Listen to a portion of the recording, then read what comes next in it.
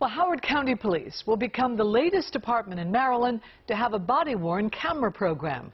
Today, County Executive Calvin Ball announced the county will use $1.6 million from the American Rescue Plan to fund the program. In total, the county will spend a little more than $3 million to buy 600 of the cameras for Howard County officers and sheriff's deputies.